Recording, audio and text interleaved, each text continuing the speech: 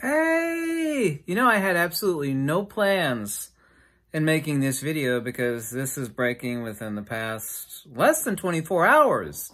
Kind of shocking when I got a bunch of emails, shoop, all at once. So there's no way this could be true, but there's a lot of emails here and it turns out it is true. And I personally don't like this guy. I've actually never heard anybody that's so in love with their voice before. Eh, that's okay. He actually says a lot of uh, highly intelligent stuff, so I respect uh, Dr. Jordan Peterson. I didn't know he was Canadian, actually. I've only ever seen a couple videos from him. This is hardcore satanic. I, I gotta ask Canadians, and I read every comment, and everybody else, too, what you think about this, because this is about as evil as it gets. Actually, the only thing that's evil, more evil than this, I can't say it, because even saying the words, you know, would make people cringe or want to throw up. So this is the next level Beneath that, I'm going to read you the, the message from Jordan Peterson.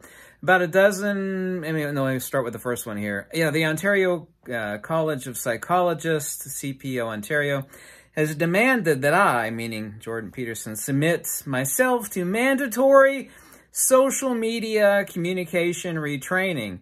You know, having lived in communist Russia, I don't know if you've ever heard of re-education camps. It's about as hardcore satanic commie that you could get. Let me repeat that. Hardcore satanic commie. Social media communication retraining with their experts and among other crimes. Retweeting, I had to look up who this guy was. Pierre Poilievre. Poilievre? I probably mispronounced. He's a, a candidate uh, for the head of Canada. You know, to replace uh, Justina Castro. Yeah, the guy that's running Canada up there, Justina Castro. I think that's his name, right? I had to look him up. Pierre. So he's been retweeting uh, Pierre uh. I'm mispronouncing his name, so sorry. And criticizing uh, Justina Castro and his political allies. Um, Elon Musk found this uh, this declaration by Peterson really shocking, and he he uh, replied to that. Elon Musk did. Whatever you think about him doesn't really matter.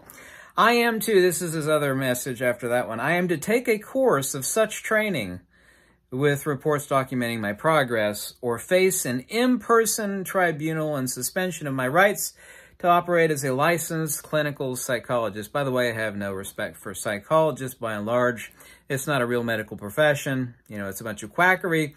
But actually, of the couple of videos that I've seen of Peterson are, uh, you know, intelligent, forthright, and logical, even though my I myself you know, uh, don't like the guy, but that's not what's important. What's important is what is being done to him. Here he, goes on.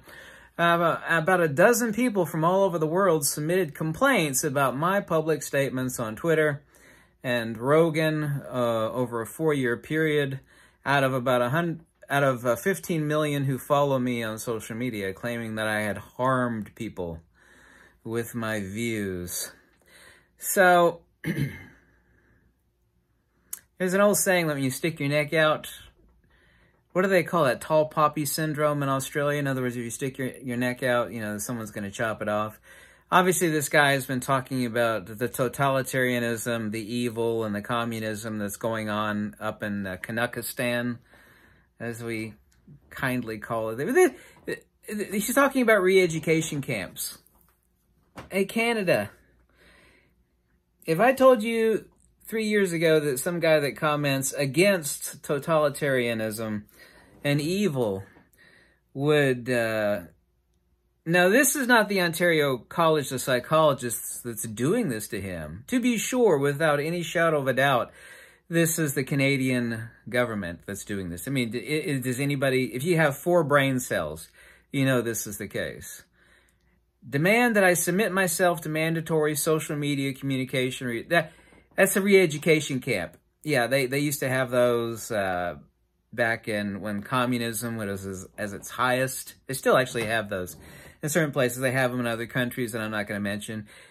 Yeah, re-education camps. That's where you know, they harm you and they, you know, you need to groupthink.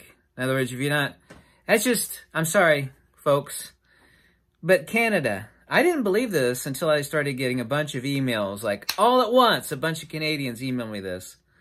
It, that's just hardcore satanic evil. This, what they're doing to this guy. And I have no love for this guy at all. I don't, I don't have any, uh, love of uh, the psychological profession at all. I mean, it is a true pseudoscience, but he is an intelligent person that actually points out the logical errors of the evils and the groupthink. And, uh, you know, I would agree with basically 95% of what I've heard the guys say. So even though I have no love for him, I mean, this is just pure satanic evil. What what do Canadians think about this? That they're going to send this guy that's sticking his neck out to point out the evils going on in Canada. They're going to send him to a hardcore, demonic, communist retraining camp. Oh yeah, we're gonna we're gonna do things. You maybe they're gonna lock up his bank accounts like they did to those truckers. Yeah, I remember when the truckers, you know, low income, hardworking folks had their bank accounts seized and uh, their GoFundMe page destroyed. Yeah, so what do you think about this, folks? This is actually really important. You know, I have no love for this guy, and I'm pointing out to you how horrifically evil this is, what they're doing to this guy.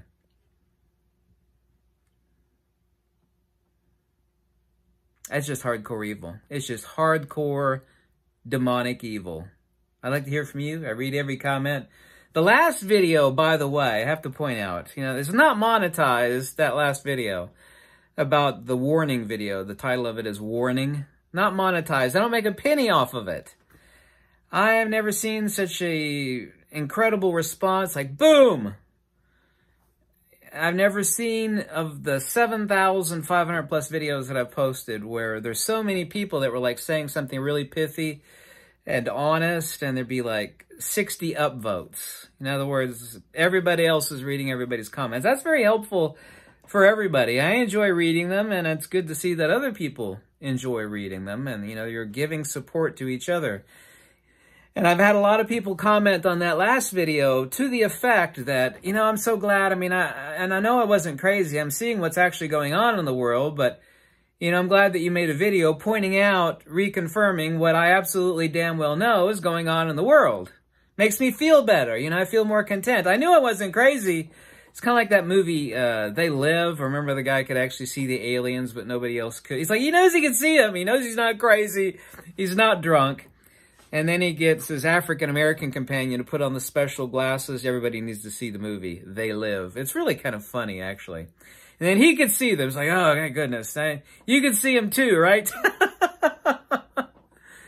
so tell me what you think about this. What they're doing to this guy is hardcore commie evil.